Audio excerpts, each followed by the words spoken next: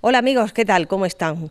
Les abro las puertas de par en par de una nueva edición de un nuevo programa de Memoria Viva. Comenzábamos el miércoles pasado, segundo miércoles de esta nueva temporada, y hoy no hemos venido a la calle Montiel porque este es epicentro por los edificios que ocupaba, sobre todo si tienen ahora oportunidad, que seguro que sí, que nuestro cámara Paco podrá acercar un poquito más la cámara para que puedan leer en esa fachada Socorro Rojo eh, Socorro Rojo Internacional, sección española Úbeda. Precisamente en esta casa y también donde se encontraba la residencia de personas mayores en el Palacio de los Torrentes, ahí es donde tenía el Socorro Rojo sus sedes porque tenían comedores, tenían albergues.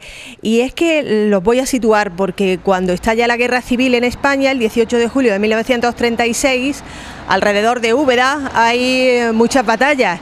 Y eso hace que empiece a, llegar a la ciudad de Úbeda muchas personas necesitadas de ayuda, sobre todo de alimentación, de ropa, un sitio donde dormir, también los niños necesitaban educación, eh, pues mm, espacios de ocio. Y por esa necesidad de estas personas que eran refugiados, algo que en la actualidad eh, tiene una vigencia, pues ya saben, enorme y está en primera línea informativa, pues todos esos refugiados venían a la ciudad de Úbeda y a raíz de eso una serie de ubetenses se movilizan y crean este Socorro Rojo Internacional en Úbeda, que como digo va a tener una presencia muy importante en la calle Montiel, sobre todo por este edificio y el Palacio de los Torrentes. Bueno, pues nosotros en este programa lo que vamos a hacer es seguir escudriñando en la historia de Úbeda, contextualizada también en España, lógicamente, pero sobre todo aterrizando en personas que tienen que ver con Úbeda, lógicamente, porque esa es nuestra misión en este programa y vamos a buscar el origen de este socorro, los objetivos, la trayectoria, quién lo hicieron posible y cuál fue el desenlace de estas personas y las sedes que tuvieron. Que como digo, la calle Montiel fue muy importante y también nos iremos a otros espacios, a otras ubicaciones como el Rastro o Santa María. Así que en este momento y en este instante da comienzo este nuevo programa de Memoria Viva.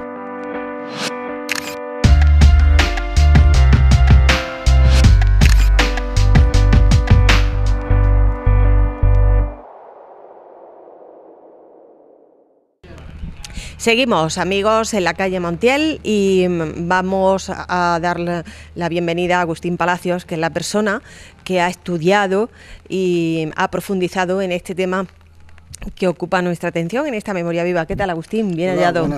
Aquí estamos, bajo la lluvia, con paraguas. bueno, Agustín, eh, yo hablaba en la presentación de que íbamos a meternos de lleno a bucear en el Socorro Rojo. Y eh, bueno, pues cuéntanos, mm, ¿por qué nace? Aunque yo ya avanzaba alguna cosita en el comienzo del programa. Bueno, el Socorro Rojo es una, es una organización específicamente eh, de creación de la Internacional Comunista, aunque eh, se hace bastantes años de que comience la guerra civil, pero cuando comienza la guerra civil aquí en Úbeda, eh, un grupo de cuatro personas deciden crear la, fundación, puesto que Úbeda se llena de, miles y miles de refugiados y a esta gente había que darles alimento y había que darles techo. Entonces, aunque fuese exclusivamente en su origen de fundación dependiente de la Internacional Comunista, el Socorro Rojo Internacional de Úbeda colaboran las diversas asociaciones que forman parte del Frente Popular de Úbeda. Sí.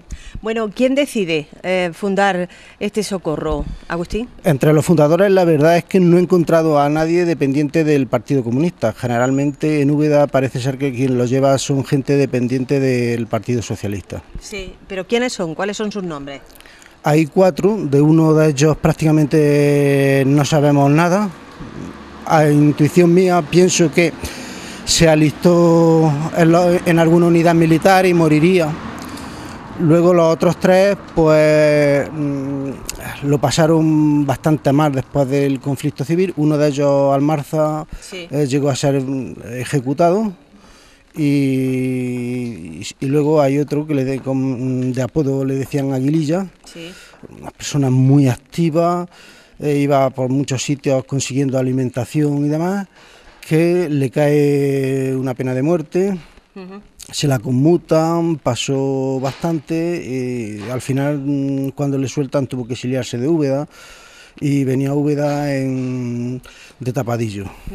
Bueno, son personas que pertenecen a la ciudad porque eran de Úbeda y, estamos en este programa pues recordando un poco este este trabajo que hicieron, que Agustín decía que estaban más vinculados por tu estudio, estaban más eh, vinculados al PSOE, ¿no? Más vinculados al Partido Socialista Obrero Español. Entonces, es que el Socorro Rojo mm, es algo, aunque no parecido, pero sí de unas características por esa labor humanitaria, como por ejemplo Cruz Roja, ¿no? Sí, es una especie de Cruz Roja eh, con estas mismas características, como has dicho, simplemente que es más política. Eh, la Cruz Roja también siguió existiendo en Úbeda durante la guerra civil y tuvo muchas actuaciones humanitarias sobre los bombardeos en la estación Linares Baeza, en traslado de víctimas de, mm, ejecuciones y demás. Socorro Rojo era más político. Sí. Bueno, mm, Agustín, ¿por qué Mm, deciden eh, pues instalarse en estos edificios, después bajaremos ahí más abajo, ¿eh? pero ¿por qué deciden, por ejemplo, este y además que lo ponen en la pared, no? Sí, bueno, era la forma, la pintura que hemos, estado viendo era la forma de identificar el local. Sí, ellos no ponían placas, ¿no? No, hasta no hace mucho en Úbeda se han podido ver todavía pinturas de, de, de Buenaventura Durruti, que han ido desapareciendo con, el tiempo, no, solían poner placas, se pintaba, ¿no? El por qué en, este local, las circunstancias de, una guerra, eh, a los, propietarios eran personas acaudaladas y o se largaron o se lo incautaron. Sencillamente le dijeron, tú no necesitas para tu familia este local y hay gente que meter. Y, ¿Y así lo hacían de rápido todo? Sí, es que no había tiempo para burocracia, es que eh, llegaba muchísima gente huyendo de la zona del mm, despejo, de Espiel y todo, en la zona de Córdoba, pero es que también vino bastante gente con problemas desde Madrid e inclusive desde el Levante también llegaron refugiados. Entonces había que meterlos en algún sitio. ¿Dónde? Pues en las casas de los ricos. Sí. Bueno. bueno, no solo en las casas de los ricos, ¿eh? Eh, Socorro Rojo Internacional, eh, la misma gente de Socorro Rojo Internacional los tenían, tenían en su casa también refugiados. También lo, acoplaron en diversas iglesias y conventos de Úbeda, que también fueron incautados. Bueno, y también... Es que es la historia. Es que es la historia. Es que es lo que pasó. Y, y, en las casas particulares, a las casas particulares se llegaban y decían, mire, usted tiene que tener dos, tres, cuatro familias metidas y tenía una casa un poco amplia y tenías que tenerlo. Y ahí, bueno, muy bien. ¿Y cómo eran? ¿Cómo eran estos, estos sitios? Porque mm, aquí tenían comedores y además había donde dormía albergues, ¿no? Sí.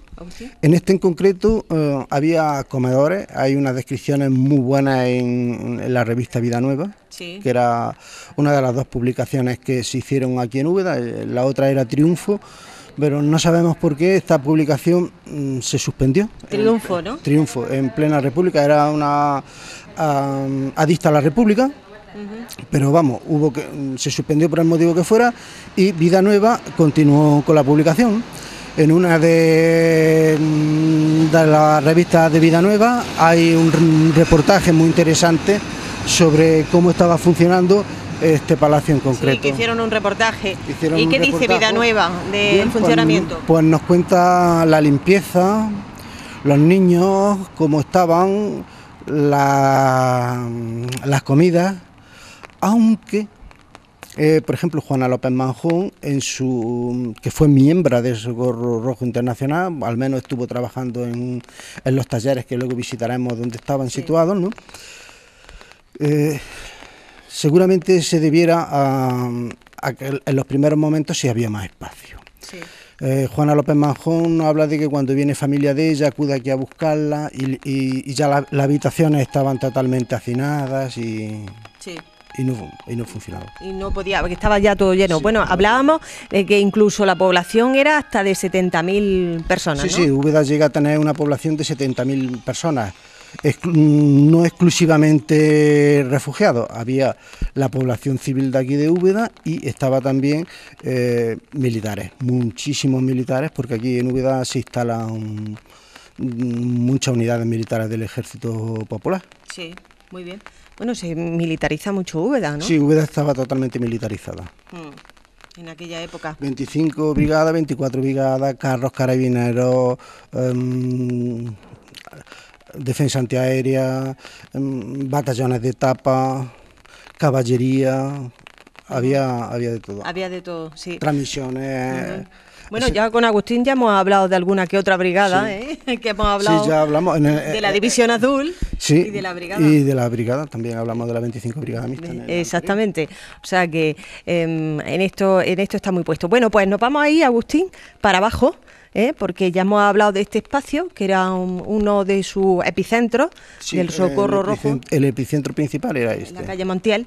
Y aquella zona de allí también, el Palacio de los Torrentes o la residencia de mayores, la antigua residencia de mayores, porque ahí también tenía lo mismo, ¿no? Comedores, Sí, sí, no, no, to- to- dormitorios, todo, todo, era. todo esto se queda o sea, fusionado. toda la, eh, eh, toda la calle entera, la acera. toda la calle, to- toda la calle lo que ocupan las tres casas, Sí. lo- el palacio, eh, estas casa casas del médico y todo eso hasta el final, desde esta casa hasta Sí. el final del palacio. Que luego paradojas del destino se convierten en, también en comedores de auxilio social después de la guerra civil. Sí, ¿no? Bueno, ya se había creado un precedente, ¿no? Sí, ya era un precedente. Pues ya nos encontramos en la puerta del Palacio de los Torrentes o la residencia que era de mayores de la calle Montiel. Eh, seguimos en territorio del Socorro Rojo de Úbeda. Y mm, ahora que parece que nos hemos escapado un poquito de, de la lluvia, que hoy sí nos ha cazado, vamos a hablar, Agustín, de los fundadores, que fueron cuatro. Sí. Re- vamos a recordar sus nombres. Miramos Chuleta. Miramos chuleta. Momento Chuleta. Era Miguel Moya Almagro, Sí, lo tenemos por ejemplo aquí. lo tenemos por aquí, de él hemos podido conseguir fotografía. Miguel Moya Almagro. Y este, cuéntanos. Bueno, natural de Úbeda, miembro del Partido Socialista, una persona muy humanitaria, muy preocupada por los demás. Se puede decir que más que político era humanitario. Sí. Y bueno, a él le cayeron acusaciones muy graves después de, después de la guerra. Se le implicó en cosas muy serias que no había participado y, y bueno, la verdad es que Terminó mal, ¿no? terminó mal. Eh, estuvieron a punto de, de fusilarlo, Sí. cuando en realidad fue una persona que estuvo la noche del, del 30 al 31 de julio protegiendo a los presos de la cárcel de la, mm, de la casilla de la policía Sí. que impidieron miembros del Partido Socialista y del Frente Popular impidieron porque no había fuerza en esos momentos no había fuerza en Úbeda impidieron que la cárcel esta fuere, fuese asaltada ¿no? y para proteger a los presos y a curas que habían en, en la cárcel se jugó inclusive la vida eh, al día siguiente en la noche, el día 31, se jugó la vida montándolos en autobuses y protegiéndolos, llevándolos a la, a la prisión de Jaén para que no fueran asesinados a Úbeda- en, en Úbeda, porque eh, se rumoreaba o se tenía ya indicios de que iban a saltar la otra cárcel para matar también a los presos, ¿no? Entonces él fue de los que estuvo protegiendo a curas y, y gente de derecha que estaban prisioneras presos en la cárcel. Muy bien, bueno, pues seguimos con más nombres. Bueno, aparte trabajó mucho, tuvo un accidente muy grave cuando venía de Torrepero Gil, porque el Socorro Rojo Internacional no solo buscaba alimentos, buscaba manta y demás, y se tenía que desplazar a los pueblos de la sierra y a los pueblos de- del entorno para conseguir alimentos, porque allí no había tan, tantísimos refugiados como en Úbeda. Entonces iban con camionetillas, se traían los alimentos y tuvo, tuvo un accidente muy, muy grave. Muy y- grave. Sí, ¿y murió? no, se salvó. Sí, salvó. Después tuvo los problemas que tuvo cuando terminó la guerra civil, pero se salvó. Sí. Bueno, eh, pues entonces, mm, ¿acabó mal o no acabó mal, Agustín? Sí, acabó mal, pero son hombres de una época y son circunstancias de, de una época. Él era un hombre de, de, una, de unas ideas políticas que... Y las circunstancias, Y las ma- circunstancias mandaban en ese momento. ¿no? Bien, bueno, pues seguimos con más fundadores. Bueno, hay un fundador del que prácticamente no se sabe nada, que es Manuel Martínez López. sí. Este lo hemos comentado antes, eh, fue otro de los fundadores de Socorro Rojo Internacional, pero los que investigamos estos temas Úbeda lo hemos, estado rastreando de él y no sabemos absolutamente nada. No está en listas de fusilados, no está en listas de refugiados que se van a otro sitio, por lo que yo me inclino personalmente a que este hombre tras eh, se alistó en alguna unidad militar y moriría en, moriría en, el, frente de, en el frente de, batalla. Este también era de, las características del otro fundador, gente que quería ayudar. Sí, eh, de hecho los que fundan Socorro Rojo Internacional, su meta es ayudar a los refugiados, darle, preocuparse por los demás. Mm, su tiempo no cobraban, es decir, los mm, directivos, digamos que hasta les costaba de su bolsillo preocuparse por los demás. Muy bien. Eh, ¿Algún dato más? No, mm, es que de este no hay, no, no, no, hay más datos. Y bueno, Francisco Almarza, este sí nos suena. Francisco ¿eh? Almarza sí, este, este, sí, nos suena.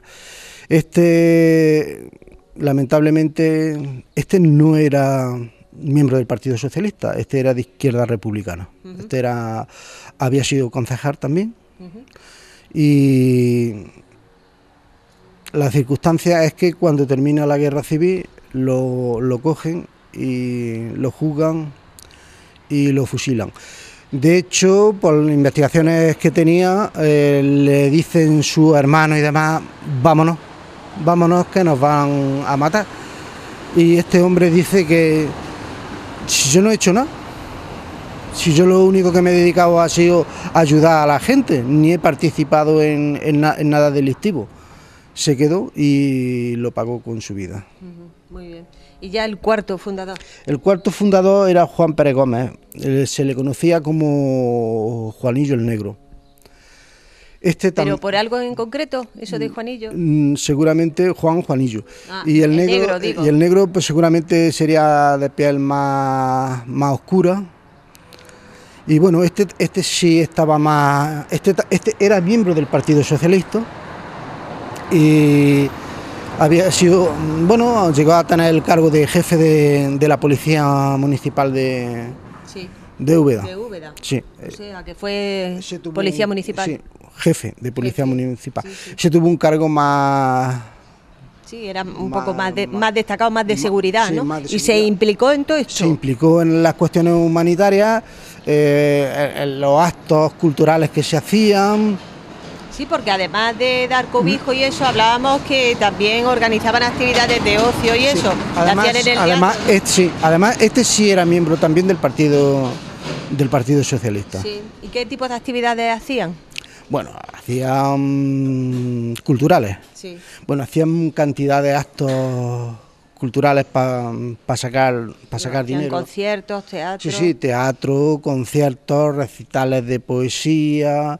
Eh, y, la gente, y la gente acudía. La gente acudía. La entrada...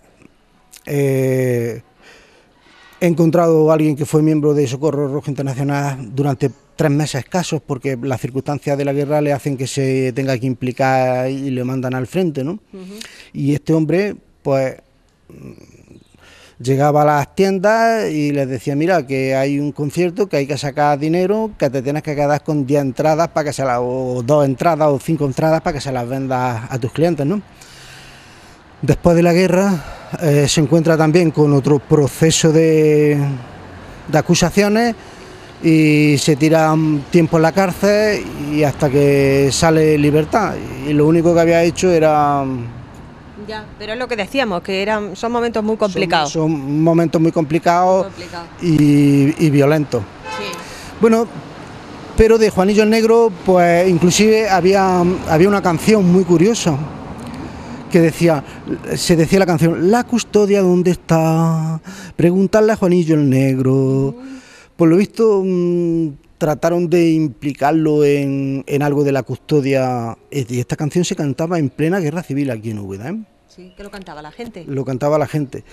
Eh, la custodia, mm, fueron, todo eso fue fundido, se hacen lingotes de, oro, se hacen lingotes de plata y el gobierno, las autoridades municipales del Frente Popular de Úbeda no se quedan con un chapín, lo mandan todo a Valencia. En Valencia ya se sabe lo que pasa. El gobierno que estaba allí lo recoge y seguramente los monta en el barco que se va para Moscú. Es decir, que parte del oro de Moscú hay un poquito de, de, una custodia.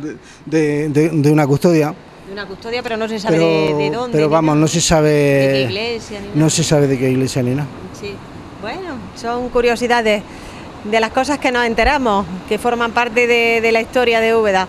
Eh, vamos a seguirnos, vamos ahora a la calle Rastro, porque ahí es donde había, estaban los talleres, Agustín. Sí, los talleres, o podemos pasar primero por el teatro, que es donde se hacían los grandes espectáculos de socorro y del resto de los partidos del Frente Popular. Muy bien, pues vamos allá.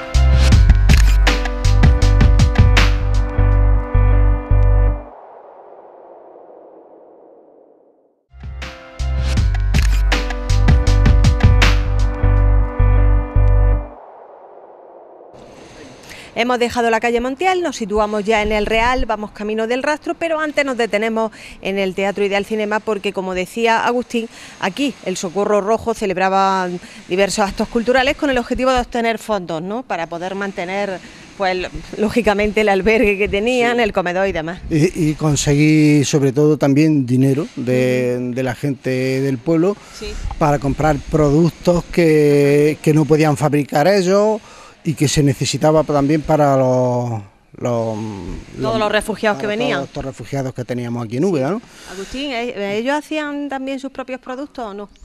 Sí, las telas y eso, pero eso lo veremos ahora en, el rastro, el taller, bien. Pues aquí este era el centro, mm, junto con la Plaza Los Toros y el Teatro Ideal, de los actos del Frente Popular. Evidentemente el palacio este es incautado, es decir, se les propia a sus propietarios ya en una fecha tardía, en el 38. Pues que no era como, no, todavía no era tal teatro. Sí, sí era tal teatro, era el centro de representaciones de obras de teatro. Me acuerdo que antes de Ideal Cinema se llamaba Alfonso XIII. Sí, pero con la República ya se le cambian los nombres. Y entonces, pues aquí se hacían parte de, las obras de teatro, pero los grandes actos del Frente Popular, cuando venían ministros y venían personajes importantes, también se hacían aquí. Era un sitio acogedor, como sigue siéndolo, y, esto pues se llenaba. ¿Y las obras quién la hacía? ¿Quién la hacía? Bueno, había varias, varios grupos de había varios grupos de teatro y entre ellos había una de las grandes amenizadoras de todos estos grupos, era Norberta. No era de aquí de Úbeda, era valenciana, después se pudo escapar antes de la entrada de, las tropas nacionales, se pudo escapar hacia su tierra, allí en su tierra la cogieron, lo pasó bastante mal, ¿Y Norberta por qué llega aquí, Agustín? No se sabe, no, no, no, se sabe. ¿De golpe y porrazo aparece? Eh, estaba, aparece, de golpe y porrazo. En, en el Vida Nueva empezamos a, a, a encontrárnosla en, muchas actuaciones de, obras de teatro, amenizadora y colaboradora total del Socorro Rojo Internacional. Ella eh, al final termina casándose con alguien de derecha, muy de derecha. ¿De aquí de Úbeda? No, de, Valencia. De, Valencia, de su tierra. Era de donde ella de, donde decía. Pero vamos, eh, el pelado no se lo quitó nadie allí y todo lo demás. Tenemos foto de ella por aquí, sí. Norberta. Muy bien, pues mientras la busca Agustín, pues mm, por ejemplo, mm, Norberta, eh, ahí la tenemos, aquí tenemos de más joven y de, y de más mayor. Era, muy activista, que era lo que yo te iba a preguntar. Era muy activista, tan activista como una ubetense muy conocida de Úbeda, que luego al final termina casándose con un ubetense que se llama Juan León Aguilar, que este ubetense inclusive es de los que van posteriormente a la División Azul y, hasta se consigue sus condecoraciones, era un guerrero nato.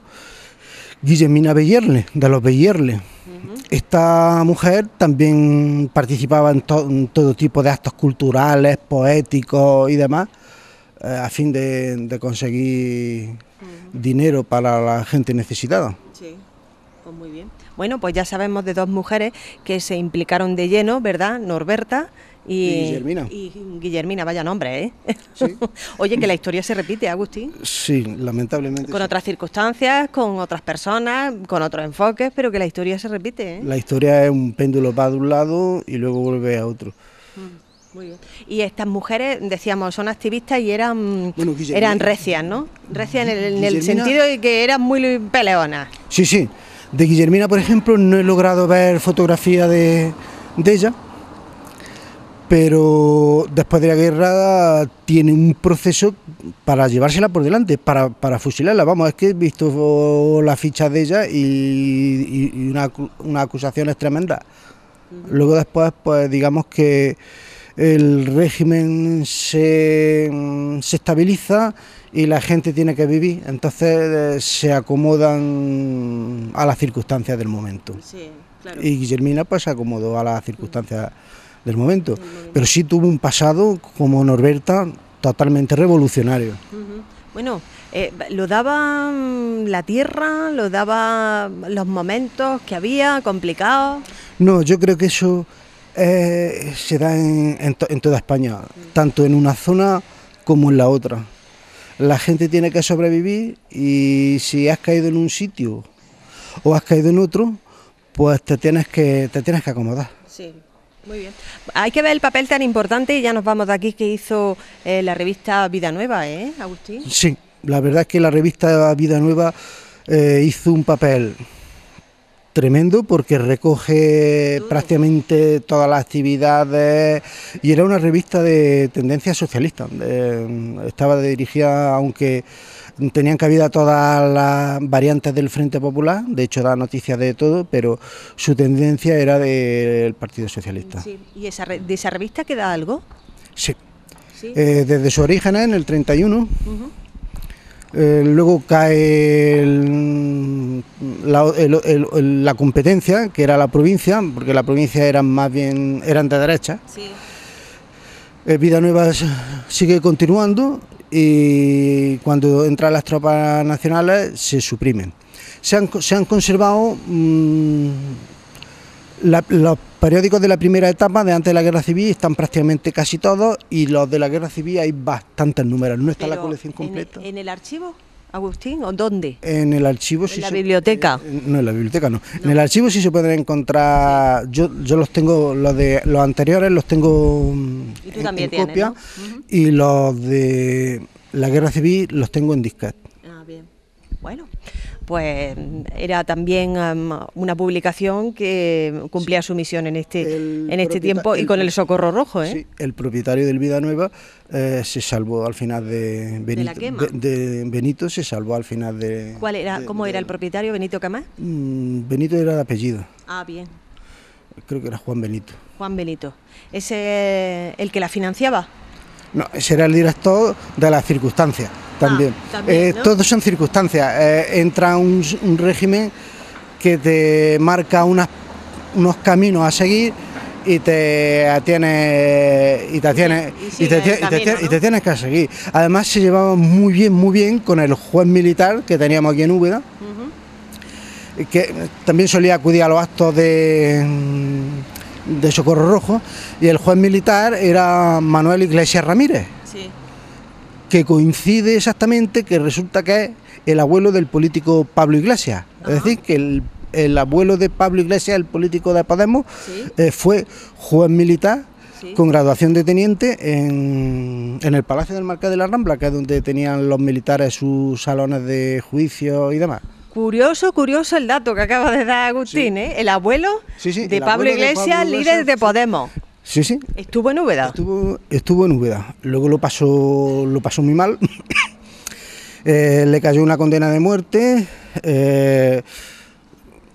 eh, años se casó. Se llegó inclusive a, a, casar por lo religioso en plena república aquí en Úbeda. ¿eh? Sí por lo religioso. Pero, ¿y él em, qué estuvo, qué vino a, para Úbeda? Por, por, circunstancias profesionales, ¿no? al ser juez militar, ¿no? Sí, sí, al ser juez militar lo traen... Lo traen aquí a Úbeda. Lo traen aquí a Úbeda y, ejerce su cargo. Pero él, más que ser juez, más que ser militar, le gustaba el mundillo de la cultura, se queda em, impresionado por el renacimiento y bueno, le caen bueno, una pena de muerte. Algún personaje de aquí de Úbeda hizo bastante para que lo fusilaran. Fue gracias al médico Enrique Puyol Casado, un médico falangista, que hace un informe muy bueno para que lo salven. Están los informes de Benito, el de Vida Nueva, y sobre todo está el informe de Ángel Campos Baeza Rojano, el cura, un cura de San Nicolás, que también se llevaba muy bien con él, que pusieron de su parte de los 30 años pasa en la cárcel un buen pellizco, 11 o 12 años, lo sueltan y posteriormente Manuel Iglesias Ramírez lo rescata a Juan Pascual Guerrero y vuelve a colaborar ya en la revista Úbeda. Mm, bueno. Pues muy curioso lo que acabas de contarnos. Cosas de nuestra Úbeda. ¿Verdad? Cosas de Úbeda. ¿Quién iba a imaginar que el abuelo de Pablo Iglesias, el líder de Podemos, había sido juez militar aquí en Úbeda y había tenido su vida también aquí? ¿eh? Y unos artículos culturales, eh, de temas culturales muy buenos. ¿eh? muy interesante. Sí, sí, muy, muy buen. ¿Sabemos si es el abuelo paterno o materno? ¿Se sabe? Iglesias, abuelo Iglesia, paterno. abuelo paterno, claro. No, no había, había yo despistado ahí, Agustín.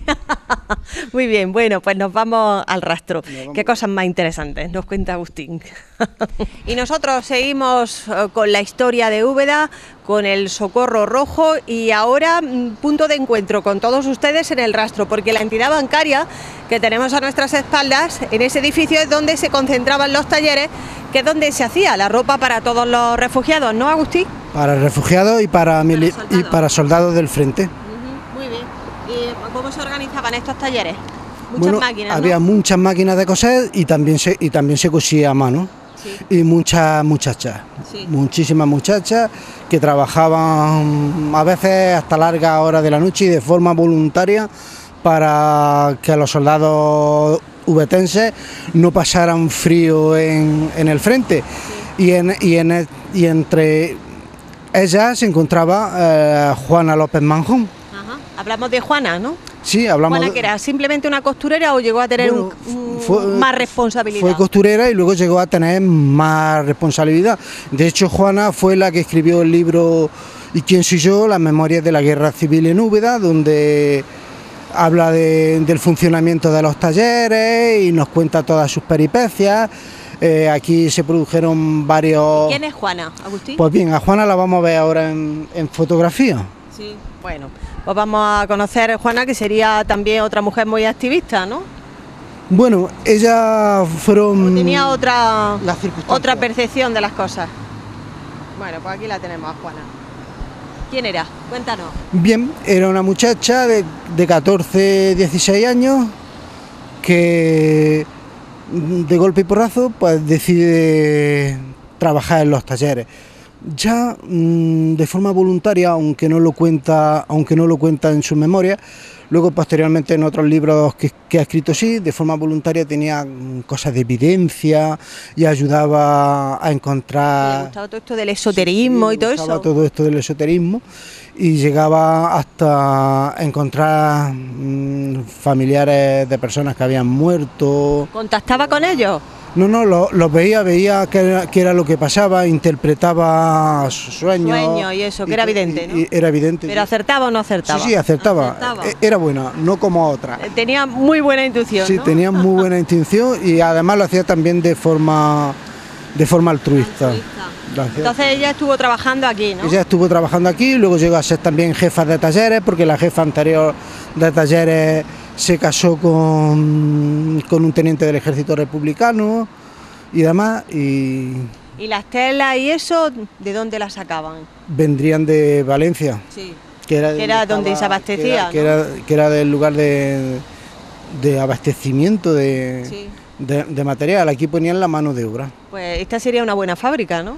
Sí, buena y también no solo, era sede también de las juventudes socialistas y aquí se dieron, como ya te he dicho antes, diversos matrimonios de, gente del Frente Popular. Los matrimonios entonces se, celebraban en la esplanada, que era un descampado con su arboleda y demás, y se solían generalmente hacer eh, bodas colectivas. Hay una descripción muy buena porque la casa, la casa prácticamente se respetó intacta. ¿eh? Eh, aquí esta fue casa de, de Losaro, ¿no? Sí, sí, fue casa de Losaro. Antes de ser... Um, antes de ser banco. Luego ya cuando termina la guerra civil la recuperan los antiguos propietarios, ¿no? Pero Luis Juan Hurtado, en su memoria, no hace una descripción porque él entró por aquí de chiquillo y nos hace una descripción de cómo era la casa, una casa señorial con una habitación dedicada exclusivamente para, para fotografía, otra con trofeos de, de caza, eh, las grandes casas señoriales de finales del 19 y, y, primeros del 20, ¿no? pero que además eh, toda esa infraestructura se respetó la guerra civil, eso no, no, se tocó. Sí, eh, bueno, ocurría lo mismo que con las casas de la calle Montiel, que cogieron y montaron el taller, ¿no? Sí, pero la, la, las de la calle Montiel sí sufrieron más modificaciones porque tenían que adaptar para, para albergue. Aquí no hay que hacer prácticamente para albergue, es sede de partido que entraron y le dijeron, mirad, pasa esto y no, no. Se fueron antes de que los cogieran. Ah, se fueron antes. Se fueron antes de que los cogieran. Fenomenal. ¿Algún dato más de esto? Mm, de esto no. Poco más. Nos vamos de los talleres a Santa María y ese sí es ya nuestro en punto Santa María ya hablamos de los albergues en la iglesia. En la iglesia, porque también, como decía Agustín, la iglesia pues era una se convirtieron, una, una se, se convierten en albergues, otras se las quedan unidades militares, eh, algunas se convierten en cárcel, pero lo que sucedió en la iglesia podemos hacer un programa porque hay documentación para hacer un programa. Bueno, de momento nos vamos a Santa María a terminar el programa. y ya hemos llegado a nuestro último destino, el último enclave, rincón de la ciudad de Úbeda, que tiene que ver con el tema que nos ocupa hoy en Memoria Viva, el socorro rojo.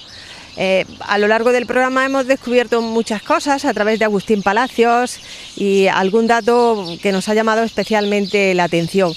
En este punto, en Santa, en Santa, María, terminamos porque hablamos de las iglesias que se convirtieron en albergue en, ese momento, en ese tiempo. Así que muchas iglesias transformadas, ¿no, Agustín? Sí, Después del asalto a la iglesia eh, se quedan muchos locales vacíos y hay necesidad de espacio y hay que realojar a las miles de personas que vienen aquí. Y entonces, pues eh, muchas de ellas son utilizadas como dormitorio, para cocinar, como vivienda para, para que la gente tuviera un techo mientras que duraba la situación bélica. Por ejemplo, Santa María que era además una iglesia grande. Sí, y entre ellas pues tenemos que fue Santa María, una de las que se utilizaron como refugio, bueno, como albergue para, para esta gente, pero no fue la única. Eh, en San Isidoro también se metieron refugiados. en Santa Clara también se metieron refugiados. Porque San Millán lo convirtieron en una cuadra, ¿no? Sí, bueno, San Millán se convierte en una cuadra para mulos y demás, y el suelo también ha utilizado para, para trillar. Em, espigas. Y, por ejemplo aquí en Santa María, Agustín, lo que hacen es un montón de un montón de, familias. Las camas se buscaban corchones que se buscaba la gente, que le sobraba a la gente, con pajas se hacían corchones.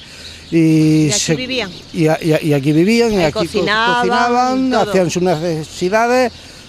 Aquí se, aquí se vivía. ¿Y que lo que había dentro, qué, hicieron con ello? Cuéntanos. Bien, lo que había dentro, lo que son cuadros y demás, eh, son, se sacan de aquí y se, se crea un depósito en, el, en la sacristía del Salvador con la esperanza de que cuando las circunstancias fueran propicias hacer un museo de arte.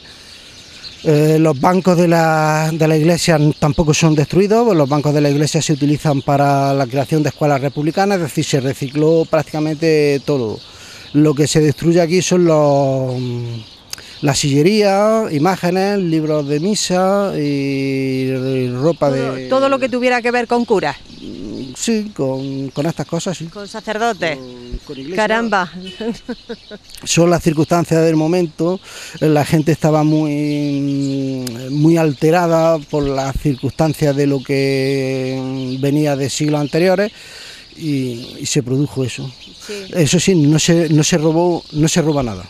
El dinero, bueno, las joyas, coronas, cálices y demás eh, son fundidas y los lingotes que se funden son entregados al gobierno de Madrid, como comentamos antes. Como antes hemos comentado con una custodia. Con, una custodia y de ahí pasaría a Moscú, al oro de Moscú, ¿no? claro, porque teníamos, teníamos que pagar la deuda que teníamos contraída con la Unión Soviética por, los aviones, armas y soldados que, enviaron aquí. Entonces, pues, no sé, solo lo que hemos dicho, bueno, las campanas también son derribadas, pero además hicieron unos hoyos inmensos, pues no las bajaron de forma normal, las dejaron caer al suelo y, hicieron hoyos tremendos. Claro, al caer una campana con el peso destrozarían suelo. Sí, pero también vamos, una cosa que se nos ha quedado es que una de las maneras y formas de financiación, aparte de los espectáculos de teatro que hemos hablado antes, de los certámenes de poesía y demás, una forma de financiación del Socorro Rojo Internacional fue la realización de sellos, de sellos típicos de Úbeda que también servían para sacar dinero y entre ellos pues tenemos aquí algunos. A ver.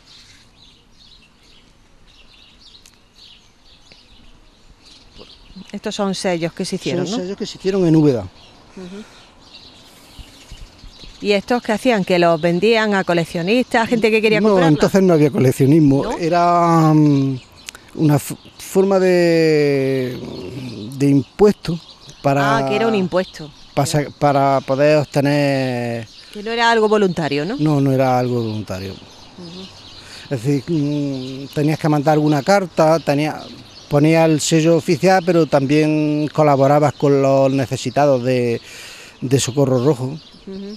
Otra forma de financiación que tenía también el Socorro Rojo Internacional eran como de Úbeda salieron tantísimos miles de soldados a los diversos frentes, entre ellos la 25 Brigada Mixta, pues entonces a través de Vida Nueva se hacían llamamientos y llegaban muchísimas donaciones de dinero de, de, soldados de Úbeda y de gente que no eran soldados de Úbeda, pero que estaban en las unidades de la 24 Brigada, de la 25 Brigada eh, y en otros cuerpos que entregaban sus donativos de 5 pesetas, de 10 pesetas. Eh, se estaba sacando dinero constantemente porque había, había necesidad de él. La verdad es que el Socorro Rojo se convirtió en una institución en Úbeda. Sí, fue una institución, fue como una Cruz Roja en tiempos de, necesidades. Sí, y eh, giraba todo en torno a eso, ¿no? Sí. Lo que es lamentable es que no ha quedado, salvo la documentación que se puede sacar por el periódico Vida Nueva, no han quedado libros de acta ni nada. Todo antes de que entren las tropas nacionales en Úbeda, eh, lo queman. Lo, queman, lo destruyen. Además, como tuvieron tiempo, es decir, a diferencia de otros lugares donde el ejército nacionalista avanza muy rápidamente, no les da tiempo. En Úbeda, que inclusive es tomada por las tropas nacionales después de Madrid, eh, tuvieron tiempo de deshacerse de toda la conflictiva que pudiera implicar a, gente. Muy bien. Pues hasta aquí hemos llegado amigos, ha sido un recorrido, como les decíamos al principio, por la historia, el nacimiento, cómo surge, los objetivos, las personas que se vieron implicadas. Hemos retratado eh, una etapa de la historia de Úbeda, un momento de la sociedad que se contextualiza dentro de 1936 y 36, 39. 39, del 36 al 39. Sí, pero mm, quería decir que comienza todo en el 36, Agustín. En el, 36. comienza ya Socorro Rojo, su andadura y todo. con hasta había médicos, había platicantes que echaban su hora de, descanso, las dedicaban a, cuidar a los heridos, a cuidar a los enfermos. Un sentido altruista y solidario se había. Sí, ¿eh? Eh, un sentido en ese aspecto, el Frente Popular de Úbeda sí creó una solidaridad de, ayudar a los, necesitados. Pero no solo aquí, de Úbeda, con todo el problema que había de almacenamiento, que no había trigo, que no había nada. Desde Úbeda también salían camiones de trigo a las tropas del frente, también teníamos que abastecer a, Madrid, llegaban, hasta se, cooperaba con mandar dinero a la Unión Soviética. Es decir, constantemente sacando dinero. Sí, ya veo, que se convertía en una máquina de hacer dinero. Muy bien, pues punto y final a nuestro programa, amigo, con campanas incluidas. Si hablábamos de las campanas y decía Agustín que las tiraron de una forma muy brutal, en verdad, haciendo grandes huecos en el suelo, ¿verdad? Pues ahí las tenemos ya sonando y en 2015.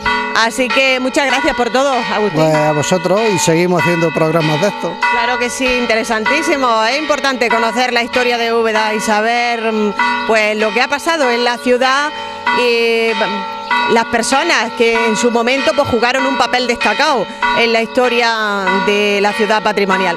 Nosotros nos reencontramos el próximo miércoles aquí en Memoria Viva. Será hasta entonces. Gracias, Agustín. Y gracias a ustedes. Adiós.